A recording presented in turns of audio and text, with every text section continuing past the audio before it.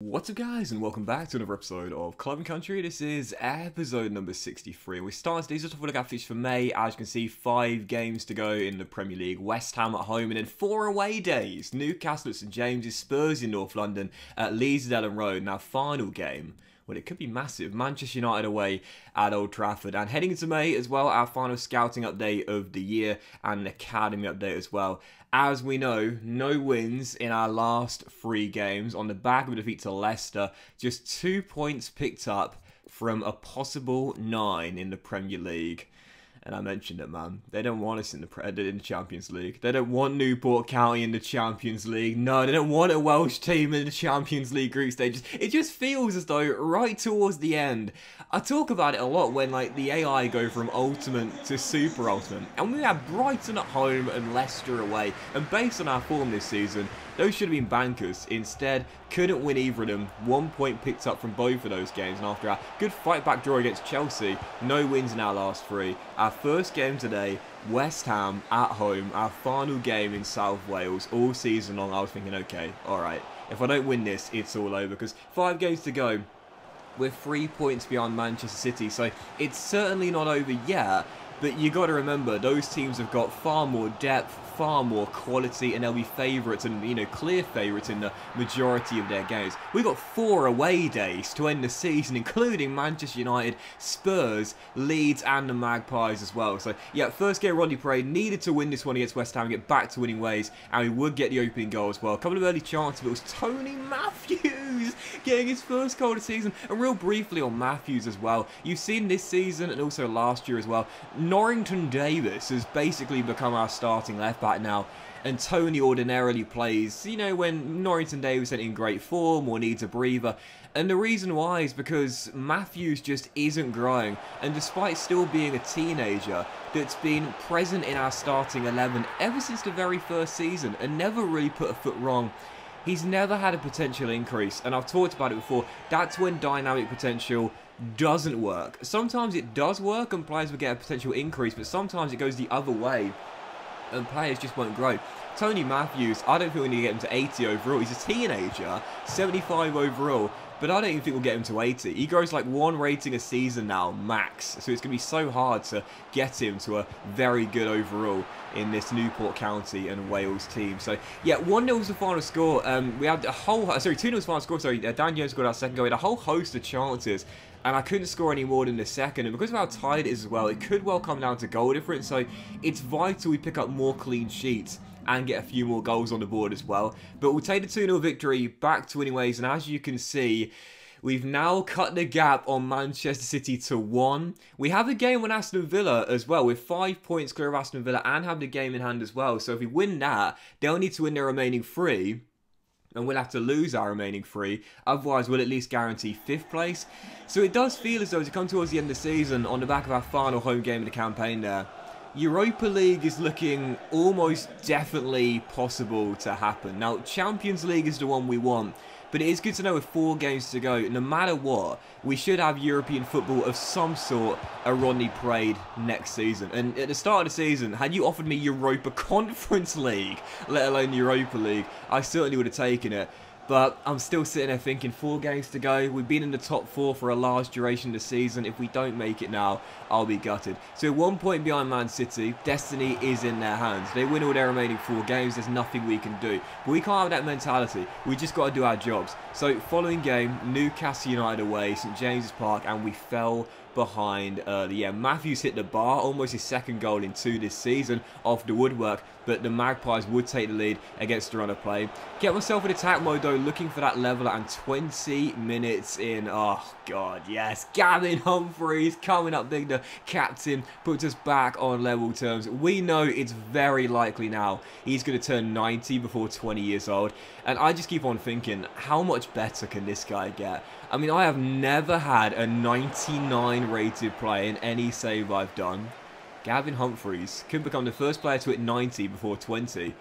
And I mean, you never know, right? 99 overall. Can you imagine? It is a possibility. It's a it's a very it's a very minor one, but it's a possibility regardless. And once we found a leveler in this game, I just knew that draws are effectively defeats. I've never liked that saying. I've talked about it before. I've never been a fan of the draws are basically defeats kind of uh, mentality because I always think every point can prove to be valuable. I mean, look at Man City right now. They're only one point ahead of us. So, you know, that draw they have got midway through the season is the reason why they're in fourth and we're in fifth. But at the moment, it's definitely going to feel that way. Four games to go. We cannot afford to slip up if we're going to catch Guardiola's side. So the man who's so good, they named him twice. Lloyd Lloyd gives us the lead for the first time in the game. And then 63 minutes in here, the Magpies going very close to finding a leveler in a real thriller in the northeast. And I thought I might defer goal with 10 minutes to go. Still up by a single one. Not defending very well this season. Lloyd, who scored our second down the right, rolls it through to Mark Bound, Gareth Bale's regen. Into path for Humphreys. Quick little offload. And there is the vet, Ben Davies to make it free and wrap up the points. And honestly, man, it's been one of the one of the great side stories of this save as Davies wraps up the points in a 3-1 victory. I mean, Ben Davies dropping down to play League One with Newport County. It's absolute class. But I told you when he came here, he weren't here for the paycheck. He was here for the project. He's got Newport County from League One to the Premier League. Our three games to go. It's confirmed now. Aston Villa slipped up. So with three games to go, it is over. They are eight points behind. They can no longer mathematically catch us. Fifth place is the very lowest we can finish. But of course, you know we want that top four. We're still one point behind Guardiola's side, three games to go. We need someone to do us a massive, massive favour and take points off Pep's side. Otherwise, it is going to be fifth, which again, I would have taken at the start of the season. Absolutely no doubt about it, but I don't know, man. It's like when you've got your heart set on something, do you know what I mean? It's like nothing else is really going to satisfy the craving, do you know what I mean? It's like, it's like in dating, like, you know what I mean? When you're on a few dating apps, you're talking to a few different people, but there's, there's just a one, do you know what I mean? There's just a one you really, really want, and yeah, the others are nice, don't get me wrong, but you really want that one. That's how I feel about this season now. Champions League has become the one I really, really want. So our following game, Spurs away, our first of the final three away days in the Premier League in North London. Heading into this game, Spurs not having a great season right now in the top 10, but way off the pace for a Champions League place where of course they'd want to be. They took lead early through Dele Alli and really in the early stages it was all Spurs and Alli was running the show for the middle of the park. But 27 minutes in, I talk about it. I never complain when these things happen because you know luck will balance itself out. But at first I was like, how on earth did Webb not save that? But I looked at it on the replay and it shows you here. Massive, massive deflection. Takes it past Webb and Dele Alli capitalises on a huge helping hand there as Spurs go 2 up. One of those things, but you can't complain about it. You know luck will balance itself out. You know you'll get a good fortune yourself at some point, and a few minutes later, we'd find a goal to get back in the game. Gareth Bale's regen, scoring in North London, makes it 2-1. Great assist by Rabbi Matondo as well. That was definitely worth showing again now. Rabbi, as we know, is the top scorer in the league, but one thing I haven't talked about much is he's also leading the way in the race to the assist title. Remember last season, he won both the Golden Boot and the assist title in the Championship. It seems like Matondo's going to do that again. Lovely back heel into It's 2-1. And from that moment there, I was like, okay, We've battled back from two goals down before. Very recently, even in the last episode against Chelsea, we can do it again. Humphreys denied, still 2-1. We kept our foot on the gas pedal, looking for a goal to get back on level terms. But one thing we've had recently that's really, really messed us up is injuries. Rashesha going down, Rodden going down, Cooper going down. And then in the second half, after we saw Bound go down, this is the biggest of them all. No! Gavin Humphreys goes down. He took a very long time to get back to his feet. He's a little lad. He's not got much strength on him. But to be fair, he did soldier on for a while in this game before I realised I had to take him off.